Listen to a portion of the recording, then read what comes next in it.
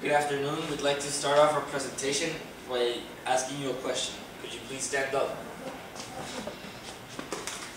How much spare change do you have in your pockets? Uh, three dollars and twenty-five cents. You. Dollar and a quarter. You. Uh, six fifty. Do you know how much you could do by saving up all of that spare change that will probably end up in a drawer every day?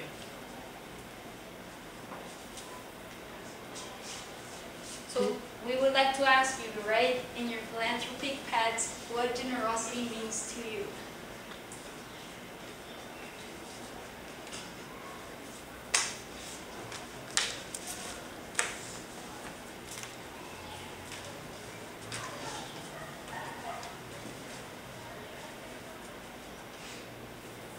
Our school, generosity seemed to be just a word on a paper. But our project wants that to to expand. And we we basically want to implement want people to actually implement generosity instead of just having it be a another value you learn in character education. Where do you find generosity? Write down the top five countries where you, where you think are the most generous people. Write them in your in your Write it. Philanthropig notepads. Are you done?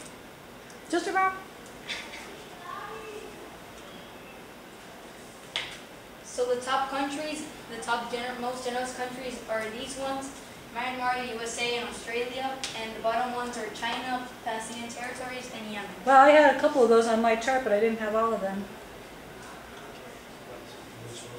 So which ones did you guys uh, found to be the most generous? I put down the U.S. And you? I thought it would be somewhere in Europe, like maybe Germany or France. What about you? I really thought that we were very generous in our country of Costa Rica, but I don't see us on the list anywhere. I don't even see anyone in Central or South America. That's a good observation. Why do you think that happens? Why do you think there's no uh, none of none, none of the countries in Central America are here?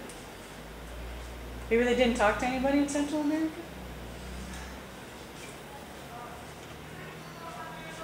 Our the stats worldwide. Uh, there's a Gallup poll which which says. Uh, which interviewed 145,000 people in 140 countries. And they were asked three questions. If you donate money to charity, if you volunteered your time in an organization, and if you helped a stranger or someone who didn't know. The results were then projected to the whole world. Currently, 7.4 billion people are found that in a given month. 100.4 people donate money to a charity, and almost 1 billion volunteer, and 2.2 billion help strangers. so that's a lot of people. Not really. It, uh, No, because So, we live, how many people live in the world? 7.4 billion. So it's still a lot of people. Where do you find generosity? Uh, look look at uh, at the you're, we're gonna show you a uh, some charts and uh, look for your country in there. Our country sadly isn't there. Help a stranger. These are the countries that are most likely to help a stranger. As you can see, Libya is 79% and the lowest is China. Why do you think Libya was the biggest country to help a stranger? You. I think probably because they, the country that they live in is a lot of war torn and maybe they, they see that they may need someday, so they're willing to help out other people because it's such a desperate situation.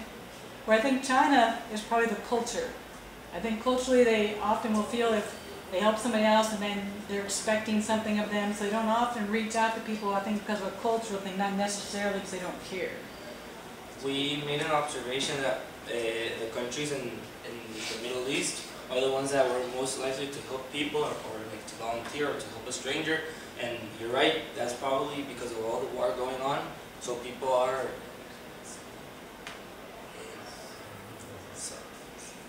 More willing, so, so, solidarios. Like, more united, join. Yeah, people are more united and try to help each other.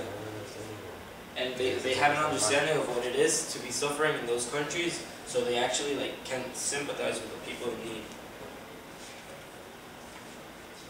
The countries most likely to volunteer are Turk, Turkmenistan, Myanmar, and at the bottom, the least likely to volunteer are Bosnia and Herzegovina, Herzegovina and Egypt. We can notice in this chart that the same thing happened from the chart before. Uzbekistan is a country where a lot of war is going on, so people there can sympathize with people in need and help them. Wow, look, Honduras is on this chart too. Oh yes, our country is in this chart. What's that say about you? That we like to help people. That even though we may not have a lot of money, We actually help by, not, not just by, not by donating money, but with what we can. And we'd like to add that every year when we have the Teleton, which is a very big uh, organization in our country, we always like uh, reach our goal and go past it.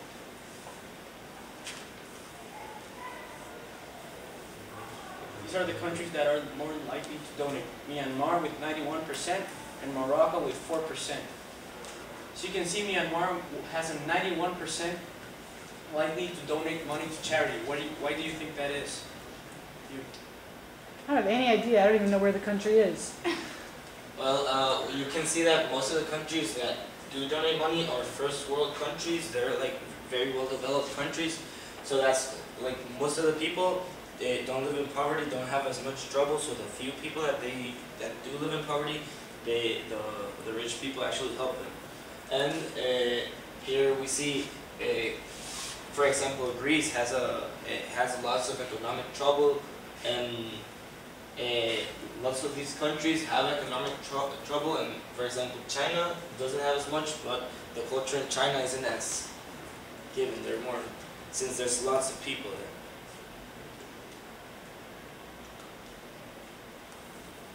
Poverty and generosity, what is a connection? Is there one? is, there a, is there a connection between these two? What do you think? Mm, I don't know. What do you think? I think there there is one because uh, ge- uh, they go hand in hand because poverty you have to be generous with the people in need because some people are not as privileged as you are so you should try and be generous with uh, people who live in poverty Especially within your own country. yes So We're gonna feed the fire. We're gonna give you a little flame for you to write where, uh, where you spend your money, and then we're gonna ask you to bring it to the front. we're gonna make a, a little fire uh, here in the middle so you can put your flames and feed the fire to make it bigger So what do you want me to write on this piece of paper? And what do you spend your money on? And what do I do with my time? And what you do with your time?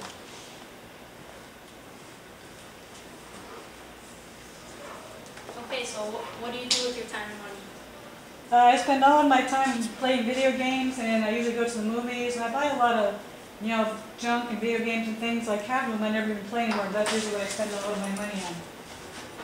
Feed the fire. ¿Es Juanjo? Sí,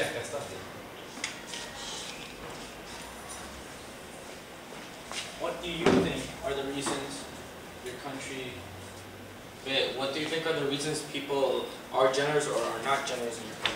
Yeah, why does everybody spend their money? Why did I spend all my money on video games, and why did I not spend any money on, you know, Where are helping you me? from? Where am I from? I am from Ireland. Ireland. What do you think the reasons are in your country? I think because there's been such a division in the country because of the revolution and things that people, I think they're very generous in some ways, but I don't think people see it on the outside because it's not a country that really people know a lot about. They'll visit, but I don't know that they really know about our culture.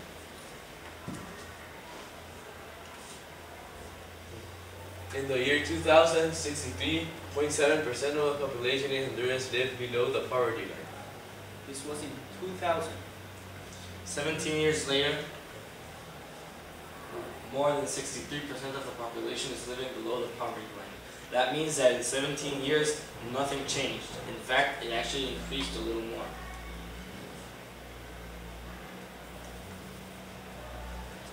Seventeen years later, why has there been so little change? Uh, we think that in our country there has been so little change because of all the corruption that goes on. Lots of people live in poverty and the government does nothing to help them. They probably will do like small projects to, for example, corrupt politicians will do small projects to help gain fame or popularity, and like, but they actually won't do anything. Like they they help a very very small group of people, and, and also I think since people are poor, they're more selfish because they they feel like they need to survive. Like they, they don't have extra money to donate to other people. This is our question. Can we spread the spirit of generosity to change the face of poverty with ed- education? We just, You don't have to do anything yet. Our first idea. Eh, our first idea, it started last year. It started last year, eh, where we got lots of volunteers to paint the pigs, and then eh, they gave it back to us, and we started to, to sell them. Then the owners would save money for a year, and they could donate it to a charity or give it back to us, and we could find a charity to donate donate it to. Eh, then the next year, start again and do it, repeat it, and do it, and raise as much money as possible. Um, so this is our story. Uh, could you read it, please? I think life is all about being an example for others and spreading the spirit of compassion and generosity. By purchasing me, you contribute to a charity fund that's donated to groups that work with those in poverty around our school. Give me away or keep me for yourself and fill me with money for one year. At the end of the year, give me or the money away to someone in need. Keep me out where you can see me to remind you to count your blessings and to be a blessing to others. Let others know what I'm all about and share my story so they can be a part. Thank you. Our story is in all of your little notepads so you can read it and be reminded of what generosity is.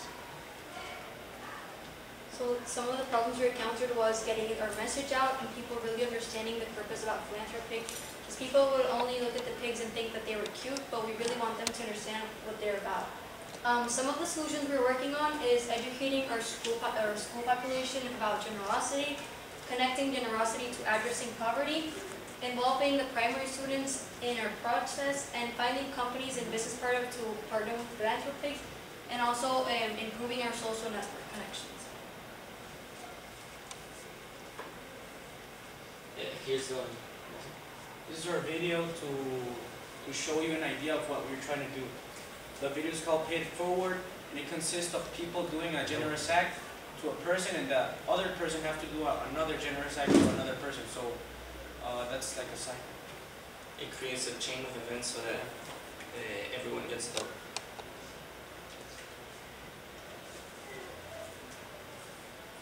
Hi, I'm Phil from EIS in Honduras, and we decided to go on a new direction this year and provide for other other groups in in the GIN projects.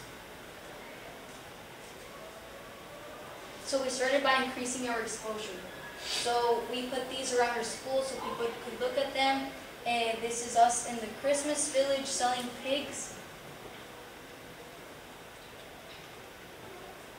We also had a library display table where we took our pigs to the high school library and the middle school library. And our, uh, this the library is uh, visited by students and their parents so they could look at our pigs and buy them.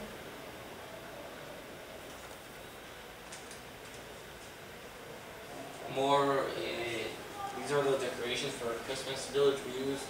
We can see a, a, a tree made out of Philanthropigs in our gym teacher's class uh, with a Christmas theme, but with pigs. I think I read something about your project in the school magazine as well.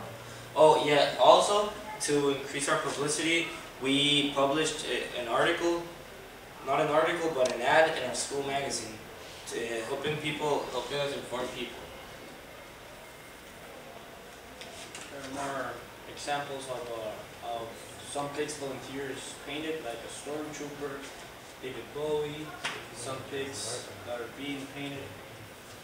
And Did you just have kids or did you have other groups help you as well? No, these are our high school AP art students that helped us paint some pigs. We also, eh, we also had an art class from outside the school paint some pigs as well. Um, this is our video that we made for middle school that was played in their classrooms for them to uh, participate with uh, Philanthropig, so they got a, a food pig and then they put their spare money, their spare change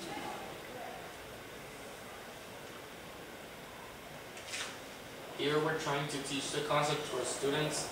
Uh, we made a contest in primary where each student could design a pig, and the one who got uh, uh, who got the most votes would be painted for each one to put on our class. And also here we are pitching the idea to the administration of primary, so that we could get our project started over there. Expand to businesses. We are planning to contact different businesses who will put a pig in their place and, and have a and have a sign explaining the project. Businesses we are contacting. Alucom, Texaco, Partyland, and Supermercado Alejandro.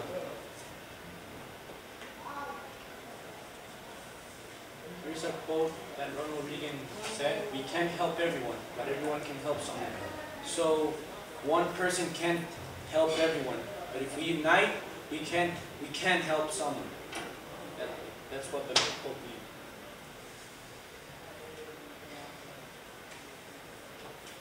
So why choose Philanthropig? Honduras averages to be with the highest poverty in Central America. Social business helps every country. Six million out of seven million people in Honduras live in poverty and generosity needs to be modeled and taught. What is social business? It's when a, when a company eh, helps other people, so then like, if every company helps people, then people won't need help, they'll be able to buy their products and give it back to them. So it helps everybody if everybody helps a little bit. Exactly. Why did you find that you had to teach people generosity? Isn't that just a natural thing? That's a problem that generosity shouldn't be a value, shouldn't be something that should be taught. People should actually like be generous and like in general. They shouldn't be they they shouldn't be like taught you have to be generous. They should just do it out of pure love for people all around the world. Our goal, use philanthropy to teach our students and teachers, uh, our student and teacher population why we need to be generous. Show the difference a generous, a generous attitude can make in our school culture. Help local charities to help those in our area and make difference where we are. Have people sustain our project by continuing to give through their Philanthropig year after year and spread the message. So we want this project to keep uh, going, to make it bigger. So we encourage students to, to keep working on this project and making it bigger. Do you think if people are generous in this area, that'll help them to change how they are with other people? Yes, Yes. because they can see how giving people makes you happy and fills your heart. Our efforts so far. This, for example, is a pig uh, in our school library. The theme is all the different like famous characters in children's book. So we it shows how we can like adapt a pig for an environment they're in. For example, if we were to put one in a supermarket, we could paint one with food, so that people are they, it, yeah they're intrigued and they it calls their attention, and then then people find out more about our project. Here are some, uh, we have uh, an Instagram page of Philanthropig. We want you to take your phones out right now and follow it. Take your phone right now, put in hash, put in, At philanthropig.hn, We have pictures of Philanthropigs all over the world, like London, New York. that one is in Texas in a children's hospital. so that's a cool way where other people who don't know about it might find out about the project because people are sharing it as they go around the world and then letting people know about it. Here's- And so here are some of the works uh, that the kids did in primary after the contest, and these are them with their Philanthropigs in the classroom. Did you talk to a couple of the pigs and kind of get, or a couple of the kids and get their ideas? Yes. Oh, that's where you're gonna show me the video.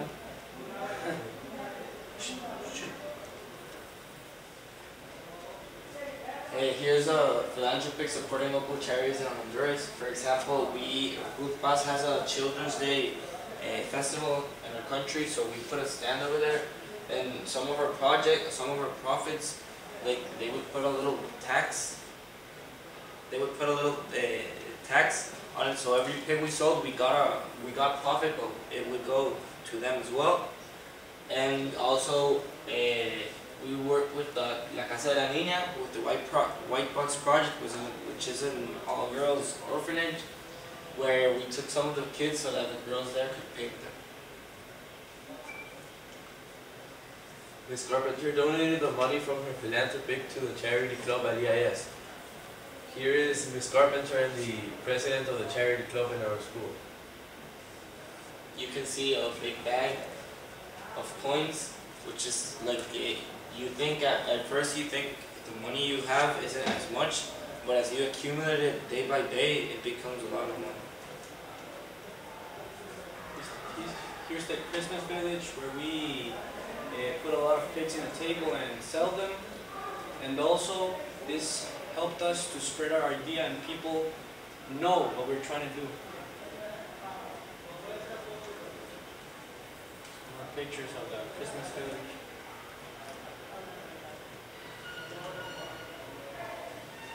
That was our stand in the Christmas. Help us spread our story. So this is a picture, a screenshot of our website where you can buy your Philanthropigs online.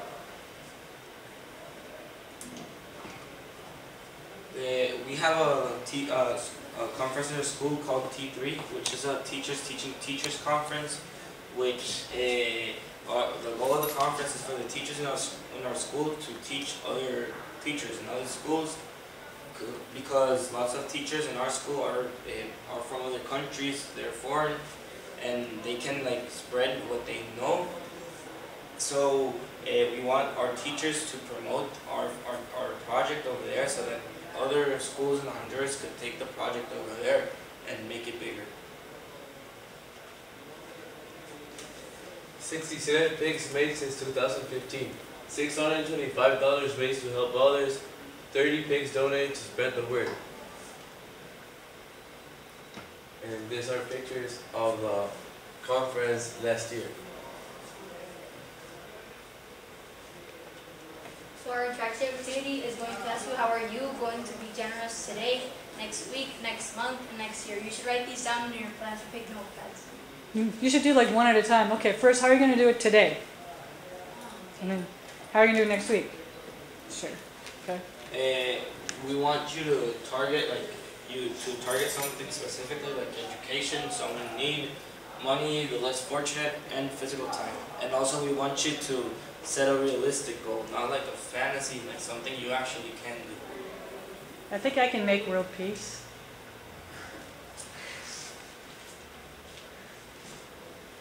Generosity in education starts with EIS. So, um, we We- want you to write, uh, We want to give each one of you a, a pig so that you can take back home and put it in, our, in your school. so, Uh, we're gonna write your, the name of your school in a paper and then we'll, we'll raffle the pigs. So, Thank Are you you so much. Thank you. thank Thank you you so so much. much for your time. We Goodbye. hope you can spread the idea of generosity about your around.